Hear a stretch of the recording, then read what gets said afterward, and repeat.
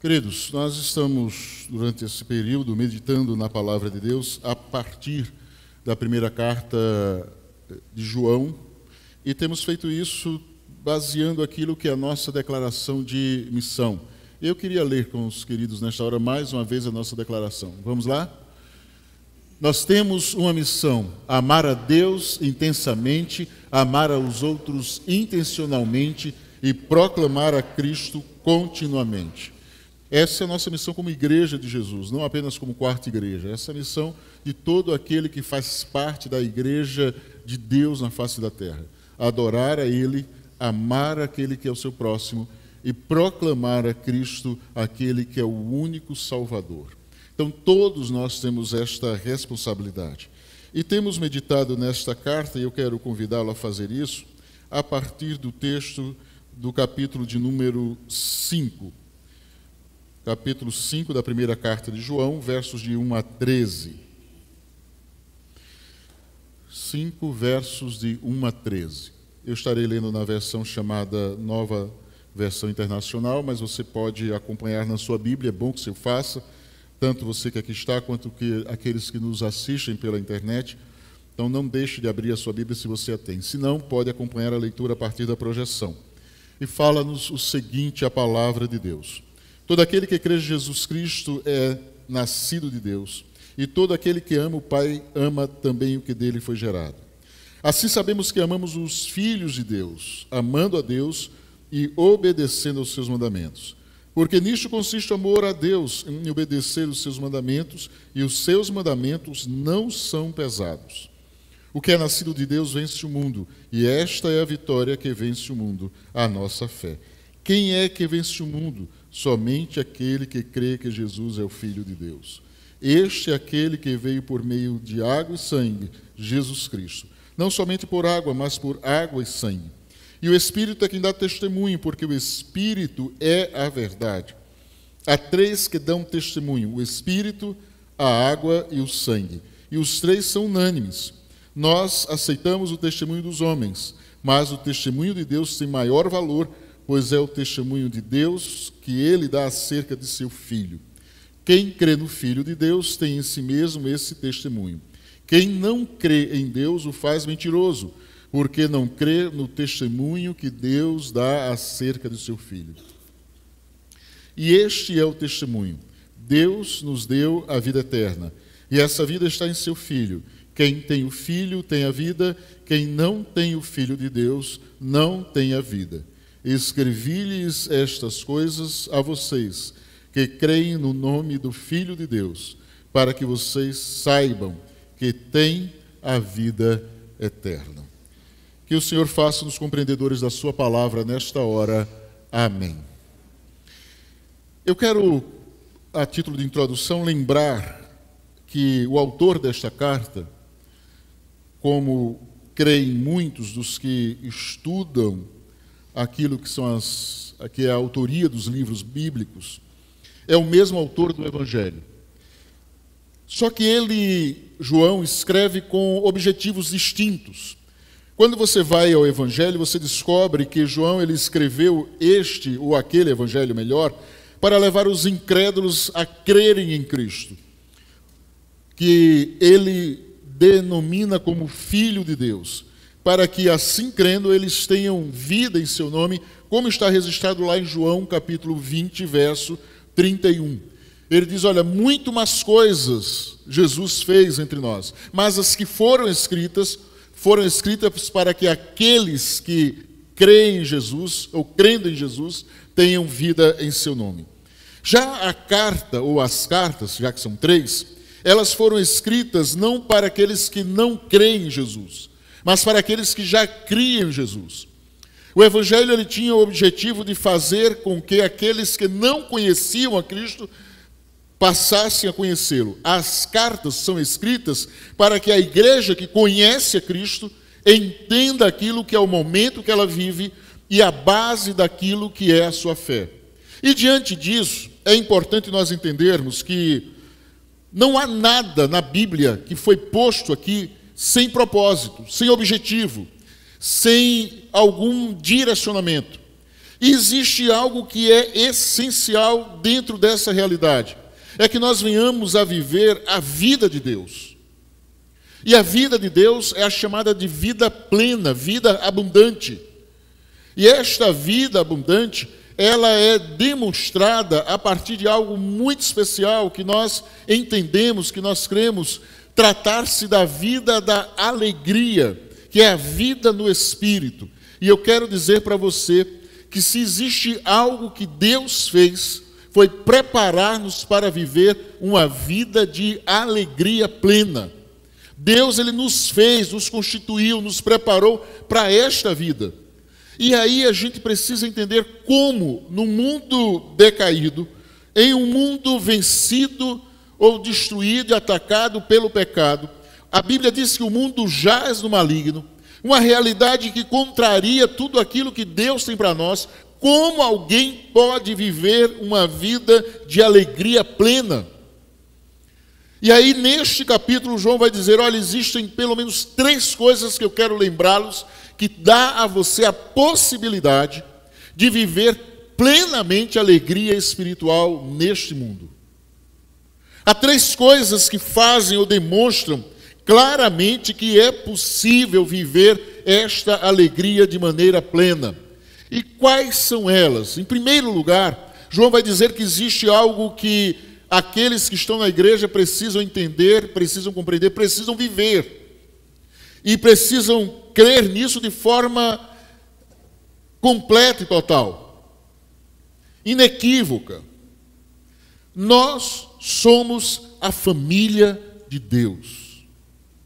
Você é parte da família de Deus na face da terra. É preciso que você jamais venha esquecer isso. Olha, você tem um pai que é um Deus de amor, que lhe ama de forma apaixonada, e pela fé em Jesus, ele concedeu a você o privilégio de ser filho dele. Nós somos filhos de Deus. Nós não somos qualquer um, nós não estamos no mundo por estar, nós não fazemos parte de nenhuma contagem, de nenhum censo, nós somos a família de Deus na face da terra. João estava dizendo àquela igreja que era perseguida, que vivia debaixo de opressão, que vivia debaixo de lutas e dores, ele dizia: Olha, não esqueçam, não tirem isso da memória, vocês são a família de Deus na face da terra. E é importante quando nós olhamos para isso, porque essa realidade, ela é uma realidade que se dá pela fé. Nós temos hoje, apresentamos uma criança, mas isso não é uma realidade que acontece porque ela nasceu no lar cristão. Não é pelo fato dela ter sido apresentada à igreja que ela se torna membro da igreja, da família de Deus. A Bíblia diz que isso só acontece quando nós cremos em Jesus, quando nós acreditamos em Jesus porque aí nós somos gerados pelo Espírito. E nós temos então o novo nascimento. Observe o que nos diz o texto que nós estamos tomando por base para a nossa reflexão desta manhã.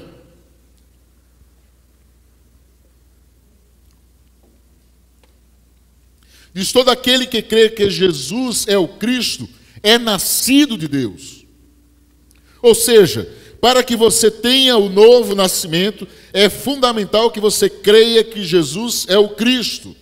Mais adiante no verso 4 ele diz: Porque todo que é nascido de Deus vence o mundo, e esta é a vitória que vence o mundo, a nossa fé.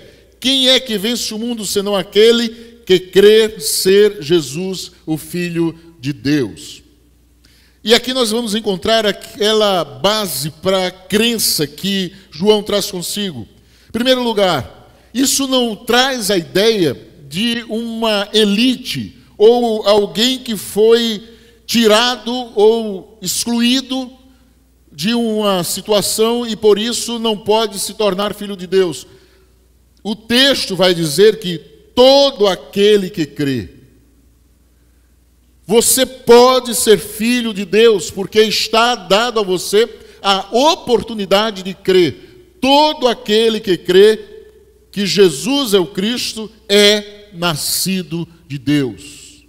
Então a primeira coisa que nós precisamos entender é que esta família está aberta.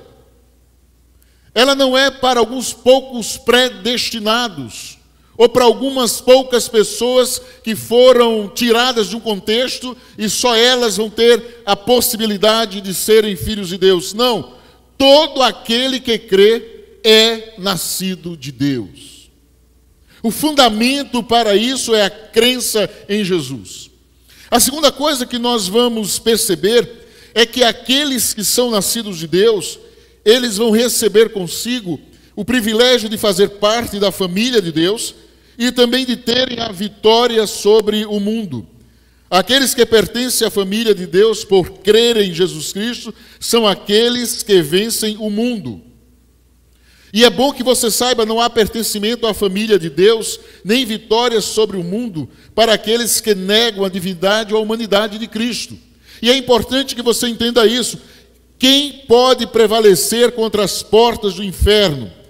A igreja de Deus, a família de Deus, aqueles que nasceram de novo. Quem tem autoridade sobre todas as coisas no mundo? Aqueles que podem ligar as coisas na terra que são ligadas no céu a igreja de Jesus, a família de Jesus, a quem foi dado toda a autoridade no céu e na terra, a Jesus Cristo. E aqueles que estão em Jesus, diz a Bíblia, são aqueles que vencem o mundo, porque Jesus disse: Olha, eu venci o mundo. Então você que tem Jesus e faz parte da igreja de Cristo, sobre você existe uma promessa tremenda e maravilhosa: você é capaz de vencer toda e qualquer artimanha do diabo, do inferno e de Satanás e que o mundo lhe apresente. Porque você é de Deus. Igreja de Cristo, nós não precisamos, não podemos jamais admitir vivermos com medo, com receio, com ressentimentos, escondendo-se nesse mundo. Não, nós somos a igreja de Deus na face da terra e temos a autoridade de Deus para vencer o mundo. Outra coisa que nós vamos entender e perceber a partir disso é que o crente é conhecido pelo seu amor a Deus e o seu amor aos filhos de Deus. Já ouviram um, um dito popular, que eu não sei se eu vou conseguir citá-lo corretamente? Quem dos meus filhos cuida minha boca doce, acho que é esse mais ou menos o dito. Beija minha boca doce, obrigado. Essa é coisa muito antiga, então é preciso uma certa experiência para Obrigado. Brincadeirinha. Então, o que é que acontece? Eu não consigo lidar com a ideia de que alguém queira meu bem e não queira o bem dos meus filhos.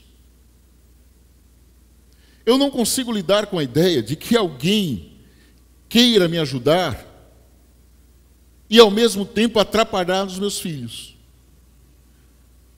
E aí acontece algo nesse texto que é importantíssimo. No capítulo 1 e 2, 5, 1 e 2, versos 1 e 2, ele diz: E todo aquele que ama o que o gerou, ou seja, ama Deus, também ame aquele que dele é nascido, Jesus. Nisto conhecemos que amamos os filhos de Deus, quando amamos a Deus. Ou seja, o texto está dizendo que você não pode amar a Deus e odiar a igreja, que é composta de filhos de Deus. O texto está dizendo que você não pode ter um ótimo relacionamento com Deus e com Jesus e não ter relacionamento com os filhos de Deus, que é a igreja de Jesus. Que isso é impossível, porque o amor que Deus coloca no nosso coração ele nos leva não apenas a viver uma vida de adoração a Deus, ou seja, de amor a Deus, mas ele nos leva também a viver uma vida de amor ao próximo, de amor ao nosso irmão, ao semelhante. Por isso é impossível que alguém consiga amar a Deus e não amar ao seu irmão. E eu quero dizer isso não a partir de uma palavra minha ou de uma expectativa sobre o que eu penso ou o que eu acho, mas eu quero dizer a você aquilo que a Bíblia diz, lá no capítulo 4 dessa mesma carta, no verso de número 20. Se alguém afirma, eu amo a Deus, mas odiar seu irmão é. O que é que diz o texto? mentiroso. Pois quem não ama seu irmão, a quem vê, não pode. Ou seja, é impossível. Não pode amar a Deus a quem não vê. Esta falsa ideia ou doutrina de que você pode viver um ótimo relacionamento com Cristo e não ter relacionamento com a igreja, esta realidade, biblicamente, é impossível. Porque quem ama a Deus, quem de fato vive o amor a Deus, vai praticar aquilo que é o amor ao irmão e às pessoas que estão ao seu redor. E diante disso, é importante dizer que não é o amor que nos salva, não é porque nós amamos, afinal de contas, ele nos amou primeiro. Mas o amor é a qualidade dos salvos, é a marca dos salvos. O amor não é a causa da salvação, mas ela é a evidência de alguém que foi salvo. E a forma de viver isso é viver isso dentro da igreja. Por isso é importante entendermos que somos família de Deus, e como família de Deus, nós precisamos amar uns aos outros. E que alguém que ama Deus precisa estar fazendo parte da família de Deus. Terceiro lugar, o crente é conhecido pela obediência aos mandamentos de Deus. Versos 2 e 3 vai dizer: Nisto conhecemos que amamos os filhos de Deus, quando amamos a Deus e praticamos os seus mandamentos, porque este é o amor de Deus, que guardemos os seus mandamentos. Ora, os seus mandamentos não são pesados. O amor é prova da, é provado pela obediência a Deus. Você não pode dizer que ama a Deus sem que isso lhe leve a viver uma vida de obediência. A maior demonstração de adoração a Deus não se dá quando você canta, quando você levanta as mãos, quando você estribucha, quando você cai no espírito, quando você faz qualquer outra coisa. A maior demonstração que você tem de adoração a Deus é quando você obedece às suas palavras. Aquilo que é amor a Deus é a obediência. A verdadeira adoração, ela vai se dar quando nós decidimos viver plenamente em obediência ao Senhor. E essa plenitude de obediência, ela não é pesada. Por quê? Porque se você ama a Deus, você jamais terá dificuldade em obedecer a Ele. Nunca será penoso para alguém viver a serviço de alguém que ama. Nunca será penoso alguém obedecer a alguém que ama. Então a preocupação de Deus não está diretamente com o mandamento em si, mas com o amor que deve se ter para viver o mandamento. Eu lembro de uma situação na minha vida muito interessante. Eu, como filho de pastor, fui criado no ambiente de igreja. E todos aqueles que tiveram uma infância assim como nós, da, da antiga, da igreja, né? da antiga é ótimo. Esse pessoal mais experiente. Então, a gente tinha umas práticas antigamente muito comuns. A gente, por exemplo, Todo ano a gente ia para acampamento. Fizesse chuva, fizesse sol, importava para a gente, a gente ia para um acampamento. Pelo menos dois por ano. Então, era certo, a gente já vivia naquela, naquela sede de dizer para os pais: olha, está chegando o dia do meu acampamento, vai arrumando dinheiro aí, porque eu não vou faltar o acampamento. Quero que o pague. E a gente ia, e era festa. Mas acontecia um negócio lá impressionante. Quando a gente estava lá, havia uma revolução espiritual. Quando a gente terminava o acampamento, a gente estava tão crente. A gente ia, a gente ia podre. Mas quando voltava, a gente dava um espirro, caía cinco na graça. Era uma santidade de fazer medo. Mas tinha um negócio estranho, porque não demorava muito. A gente chegava santo, santo, santo, depois o negócio ia baixando, esvaziava. Três semanas depois a gente já estava querendo filar na prova, colar na prova e tal. Era um negócio terrível. E aí, teve um acampamento que foi diferente. Eu fui para o acampamento. Lógico que lá a gente fazia muitas coisas. Tínhamos muitas brincadeiras, né? atrapalhava a vida de muita gente. Mas teve uma coisa diferente naquele acampamento. Porque naquele dia que nós estávamos ali, né? O rapaz que falou era um seminarista da igreja presbiteriana, falava para nós, era um acampamento de embaixadores do rei. E ele falou para a gente, e aquilo foi, assim, impactante para a minha vida. E eu já tinha alguma, algumas certezas comigo. Mas naquele momento, naquele tempo ali, foi algo diferente. Porque não, eu não saí dali motivado, eu não saí dali emocionado, mas eu saí daquele lugar transformado. Deus de fato mudou a minha vida naquele lugar. Ele trouxe de volta o ardor pelo ministério, pelo chamado de Deus para a minha vida. Ele me deu a consciência de que eu deveria pregar o Evangelho, falar de Jesus. Ele trouxe ao meu coração o desejo de servi-lo intensamente. E o interessante é que depois daquele momento em diante, isso nunca mudou no meu coração. E eu fiquei depois me perguntando o que é que aconteceu de diferente para que eu tivesse vivendo aquilo. Eu descobri que, de fato, naquele dia, eu comecei verdadeiramente a amar a Deus. O que fez diferença na minha vida foi que eu descobri que, de fato, eu precisava viver uma vida de amor a Deus. Isso me deu vontade de sair pelas madrugadas pregando o Evangelho. Isso me deu desejo de sair aprendendo a evangelizar, ensinando, tocando na igreja, eh, trabalhando com, com adolescentes, com juniores. Todas estas coisas trouxeram ao meu coração esse desejo depois da experiência que eu tive com a descoberta do amor a Deus. Se você quer viver uma vida de obediência, é preciso que você antes de tudo, ame a Deus. Segunda coisa que leva-nos a ter uma vida de alegria plena: crer que Jesus Cristo é Deus. Os versos de 6 a 9, João vai falar sobre isso. E é importante isso porque nós falávamos hoje, cantando, dizíamos isso. Os principais sacerdotes e os fariseus do tempo de Jesus chamaram de embusteiro, enganador. Outros diziam que ele era um fanático religioso. Os gnósticos do tempo de João diziam que ele, era, que ele era apenas um homem comum, que quando foi batizado recebeu o título de filho de Deus. Há uma seita chamada Testemunhos de Jeová que diz que Jesus não é Deus. Os israelitas, os espíritas, perdão, dizem que ele foi um grande espírito de luz e um mestre iluminado. Os muçulmanos dizem que ele foi apenas um grande profeta.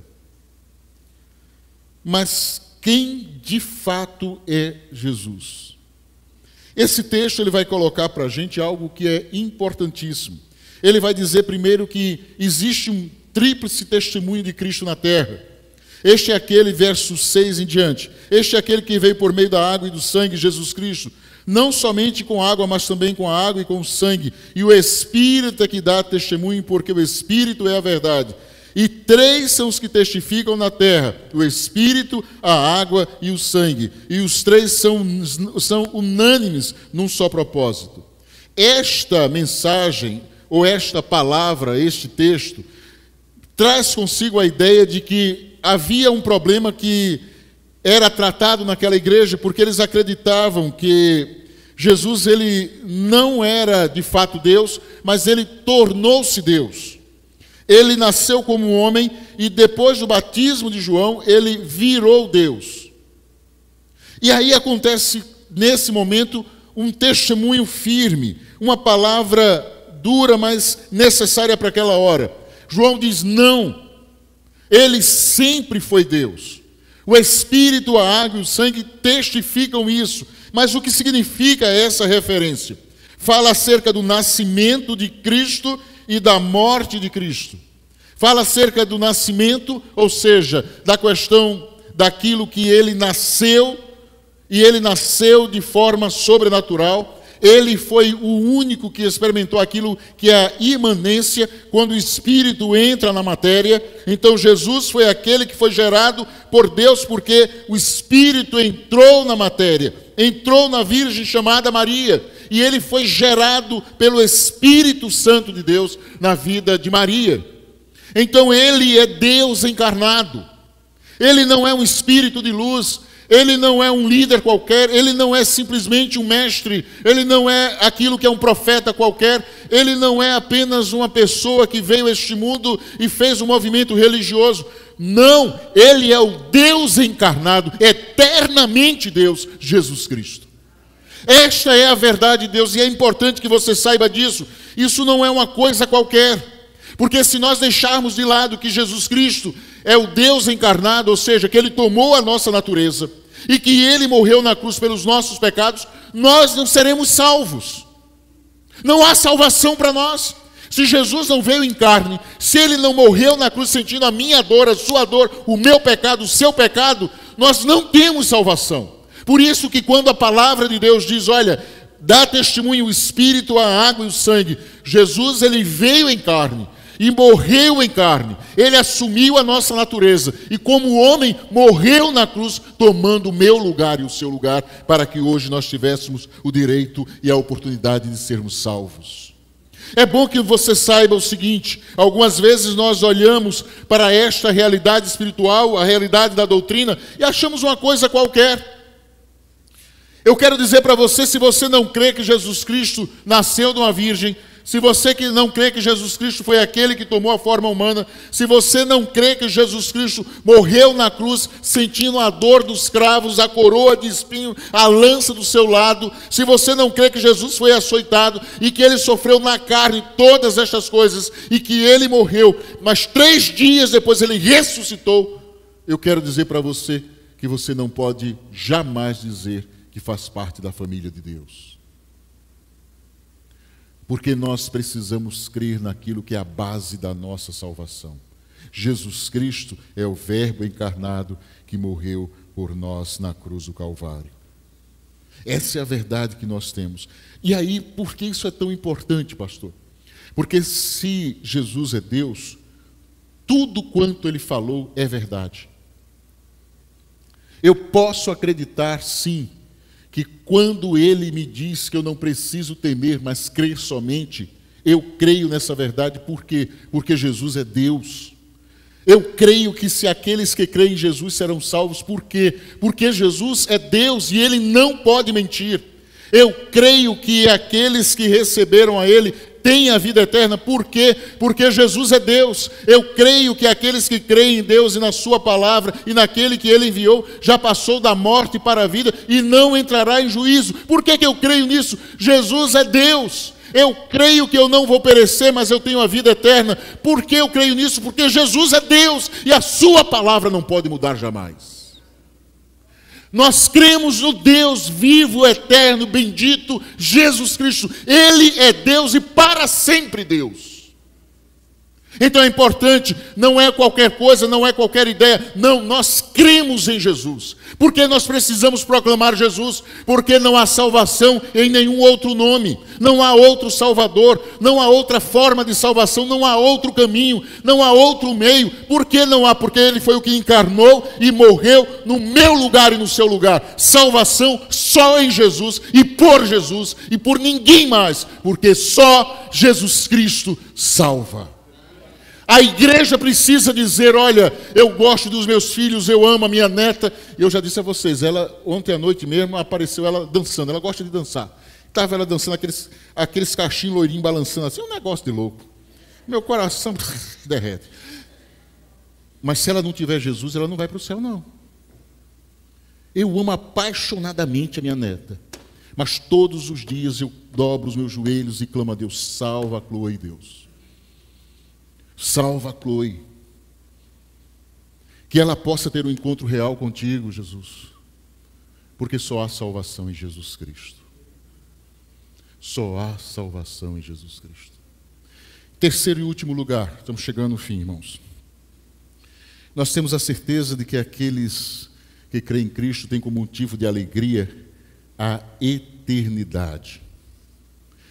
Se existe algo que pode fazer você viver nesse mundo de injustiças, de sofrimento, de dor, com alegria, chama-se certeza da vida eterna.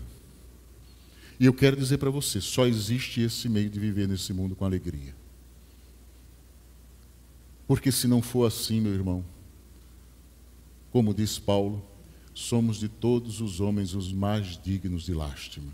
Se eu creio em Jesus só para esta vida, eu sou digno de pena.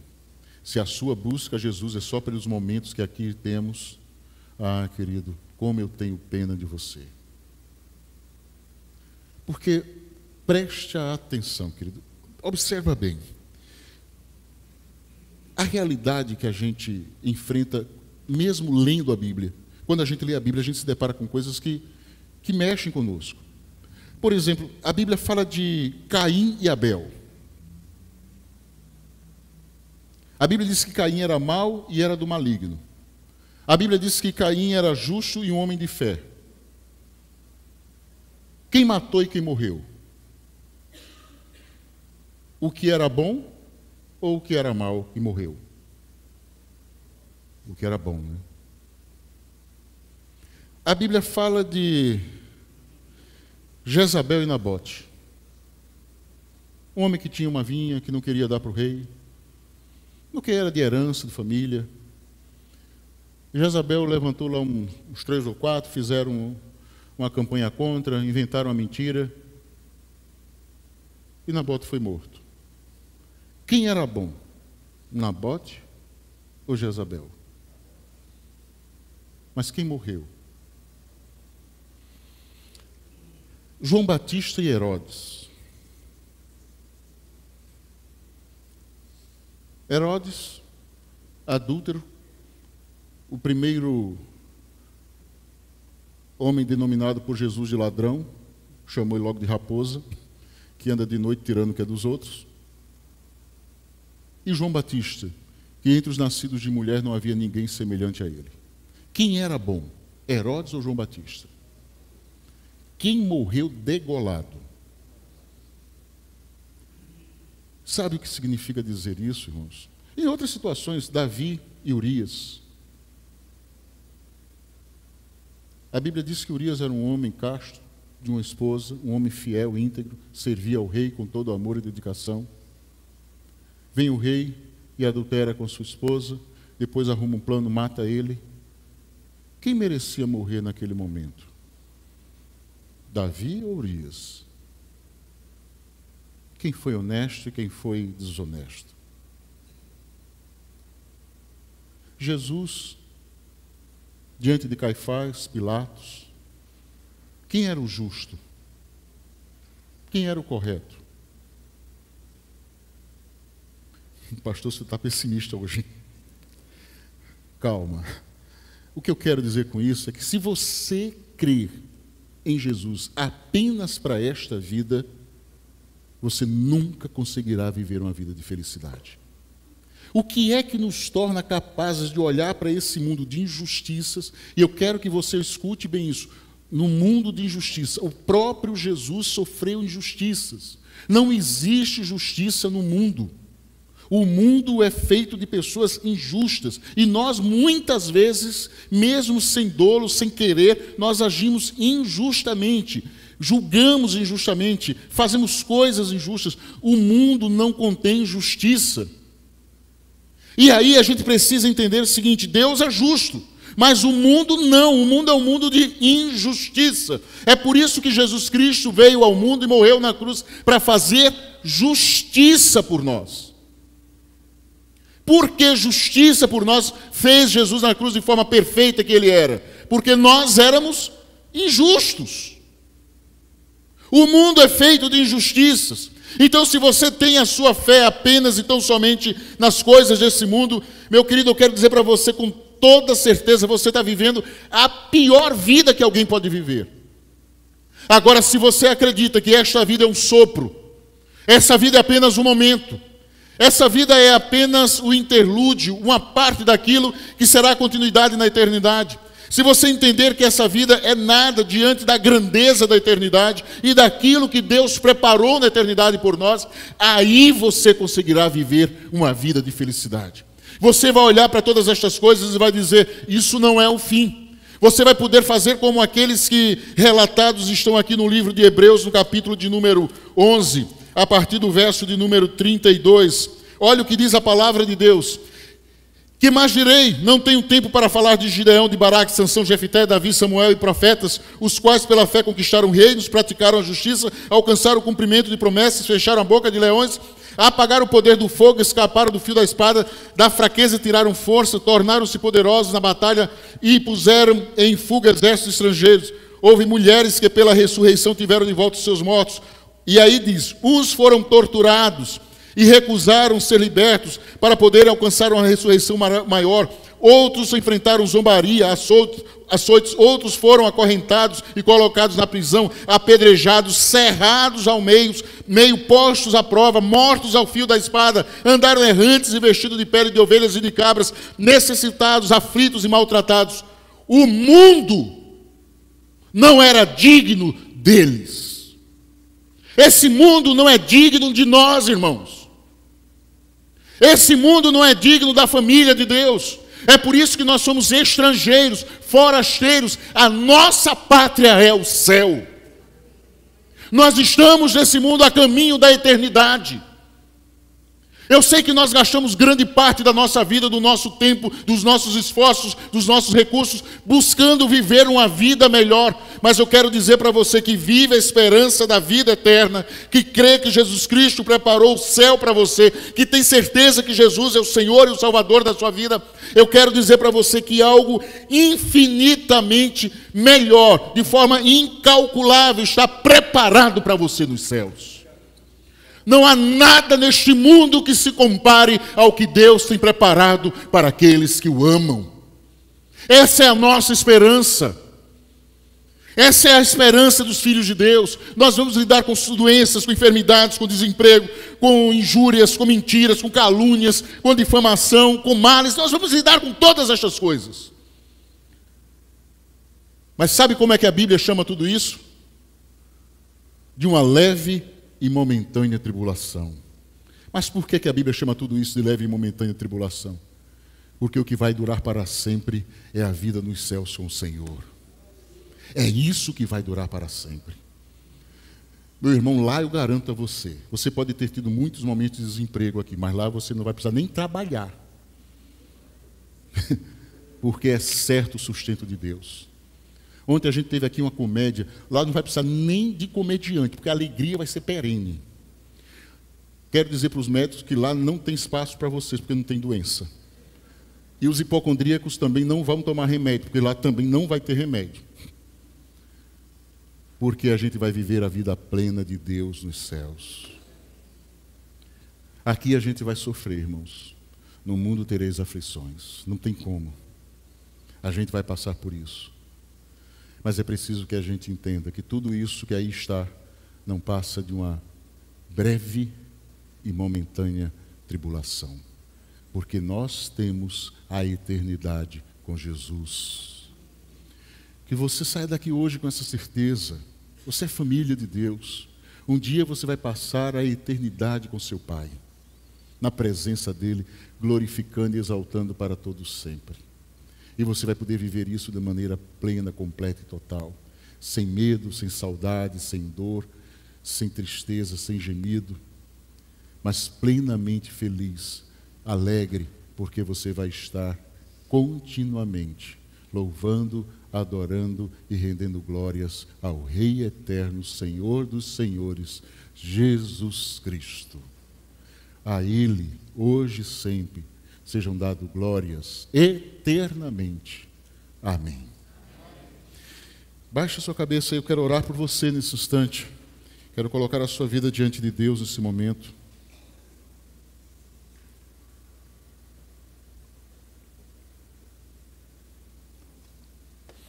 Deus amado e bendito, glórias sejam dadas a Ti, Senhor, hoje e para todos sempre. A Ti o meu louvor, o nosso louvor, Senhor, a nossa adoração, a nossa gratidão, a nossa rendição. Senhor, Tu és digno de receber todas estas coisas, e só o Senhor é digno. Não há outro que possa abrir o livro, Senhor. Só Tu és digno, ó Deus. Por isso nós estamos aqui te rendendo graça, louvor e adoração. Senhor, move-nos, ó Deus, para vivermos a vida que o Senhor tem para nós. Leva-nos, ó Pai, a entendermos que nada nem ninguém poderá nos conceder aquilo que o Senhor tem para nós. Ó Deus, a vida que o Senhor preparou para nós. Que hoje seja dia de sairmos deste lugar com esta certeza de que a vida eterna, a vida de Deus habita em nós. E que por maiores que sejam as lutas, as dificuldades, as provações, as crises, os problemas, nenhuma destas coisas podem botar, desvalorizar, arranhar o galardão e a glória que o Senhor tem preparado para nós. Por isso, Deus, nós estamos aqui certos de que pela fé em Jesus já vencemos o maligno.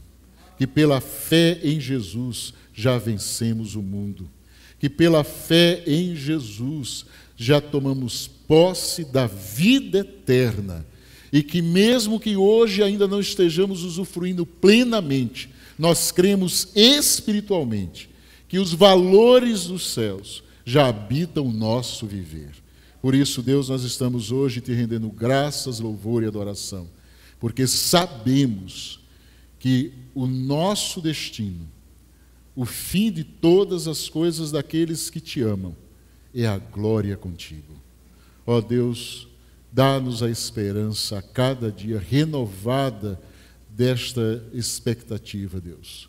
Faz com que no nosso coração possa brilhar a cada dia aquilo que é o sol da justiça, que nos faz lembrar de que este mundo não é o destino, Pai, mas é apenas um lugar de passagem, porque estaremos eternamente eternamente na glória com o Senhor. Para a glória do nome de Jesus, Deus, nós oramos e clamamos a Ti. Amém. Amém.